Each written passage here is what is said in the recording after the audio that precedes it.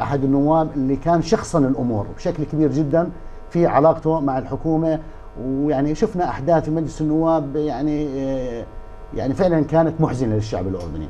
آه هذا فيما يتعلق في مجلس في المجلس النيابي والحكومة والعلاقة فيما بينهم. الملك وجه رساله طالب الطرفين بانه يكون في في هدوء وفي أريحية لأنه يعني الأردن غير معني بالانشغال في قضية قضية نزاع مبنية على أساس خلافات شخصية.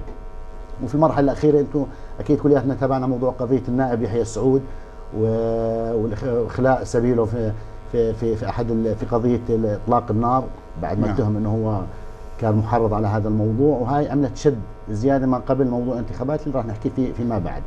بدي أنطلق لنقطة أخرى اللي هي تطور الملكية الدستورية لضمان التعدديه والديمقراطية. أنا شخصيا يعني إذا بدي أخذ الخطاب بحرفيته هاي دعوة لتعديلات دستورية.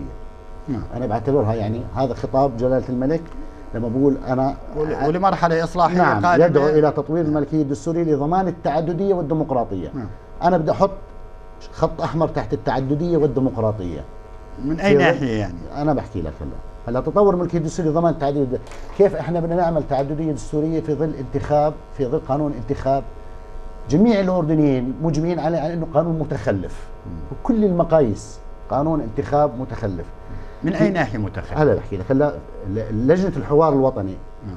اللي شكلت في ما قبل ثلاث سنوات أو يعني في أثناء موضوع نعم، الربيع نعم. العربي والى اخره كلها خرجت كان في إجماع في لجنة الحوار بالعودة إلى قانون 89 طب لجنة الحوار هل كانت تمثل الشرائح الأردنية كافة؟ يا سيدي حتى على أساس إنه هل يمثلوني؟ هل يمثلوا كافة الطبقات؟ هي لربما ما مثلت كل شرائح المجتمع الأردني ولكن أفرزت ما ما يتمناه الشعب الأردني وهو العودة إلى قانون 89 العودة إلى قانون 89 وهذا كان مطلب شعبي. الغريب بالرغم من أنه كان أحد مخرجات لجنة الحوار العودة لقانون 89 إلا أنه أصروا على الصوت الواحد. والمشكلة الأكبر من هيك أنه إحنا آه، بعد موضوع الدوائر الوهمية اللي هذا فريد من نوعه بالعالم جانا في الانتخابات الأخيرة موضوع القوائم. القوائم الأوهم. الأوهم. يعني هاي كان مأساة زدنا عليها مأساة ثانية. أنا بقول دائما إذا كانت المدخلات خطأ فالمخرجات أكيد. خطأ. مخرجاتها إذا كان قانون الانتخاب معاق فمع احترامي لإخواني أعضاء مجلس النواب فسيخرج مجلس النواب معاق. لا يمثل الشعب الأردني بالمعنى الصحيح.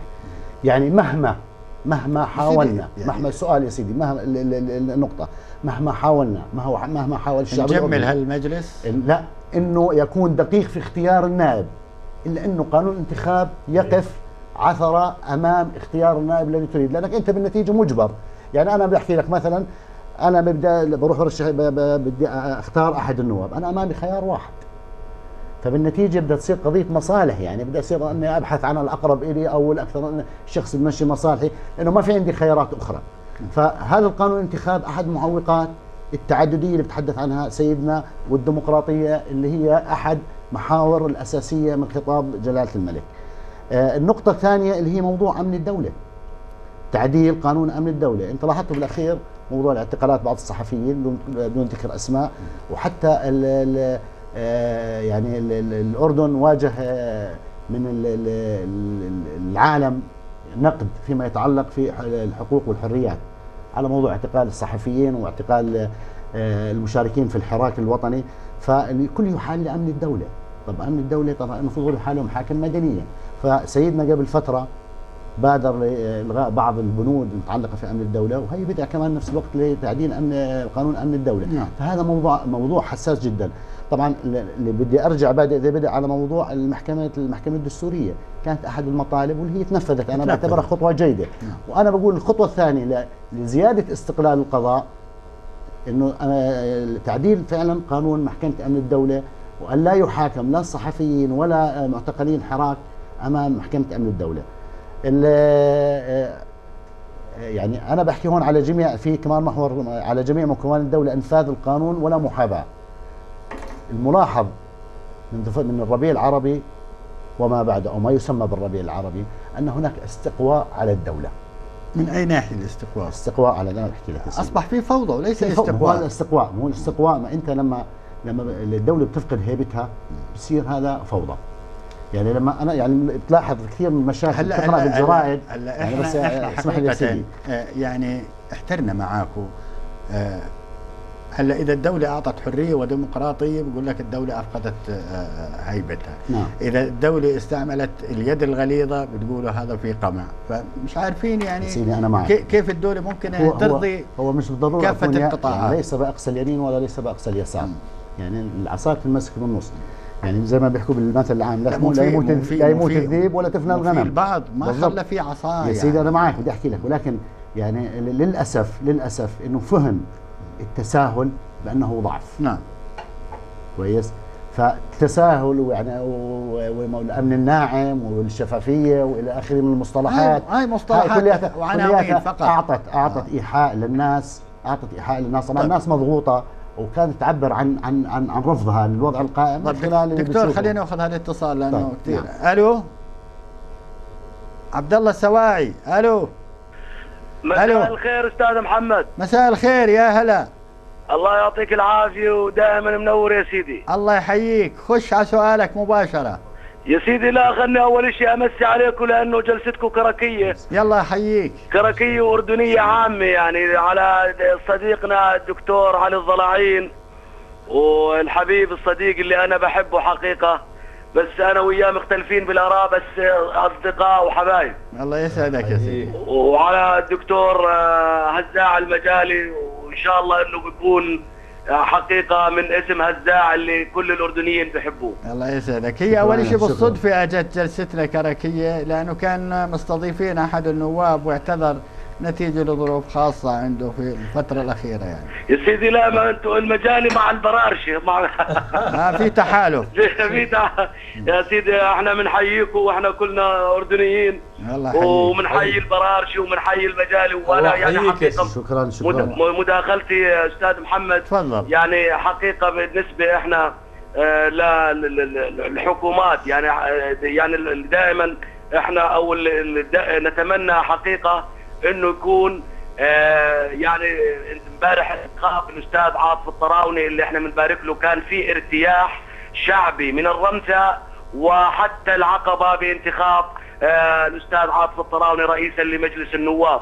اللي يعني إحنا يعني كنا يعني ولا زلنا مع الأسماء الجديدة الدماء الجديدة. يعني نوع من التغيير وهذا مطلوب الآن يعني. نعم نعم بعيدا عن المناطق. إحنا بدنا دماء جديدة تضخ وأسماء جديدة بعيدا لأنه ملينا الأردن كل كلها كلها الجديدة.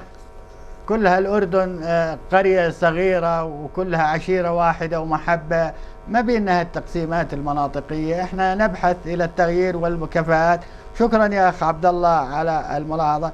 نأخذ الأخ مشعل المجالي أيضا. ألو؟ لو مساء الخير. مساء الخير. أخ مشعل رجائي تحياتي ندخل يا هلا ندخل في السؤال مباشرة. مشان نكسب الوقت. لك وللدكتور أبو وجيه واخونا الكبير ولابن عمنا الأستاذ هزاع يا سيدي قبل أسبوعين وقعت الحكومة آه، حالة اعطاء إنشاء مفاعلين نوويين بكلفة 10 مليارات دينار على شركة روسية. هذا الموضوع يا سيدي في في الأوضاع يعني أنت حكيت إن الوضع الاقتصادي هو اللي بيشغل الشعب الأردني.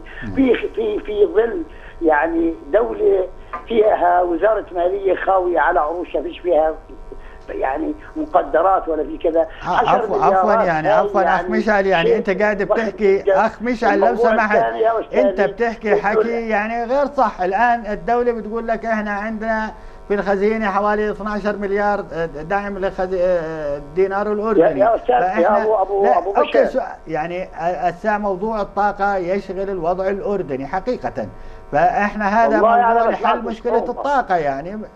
يا سيدي إحنا عندنا بدائل هائلة يا أستاذ أبو بشر. الله يرضى عليك. أعطينا في بدائل، تفضل، المخ- هنسمع. ال- ال- المخزوق يعني ال- ال- المكتشف من الصخر الزيتي 70 مليار طن من الصخر الزيتي وتكلفه تعدينه أقل بكثير. عندنا 85% من مساحة المملكة الأردنية الهاشميه صحراء.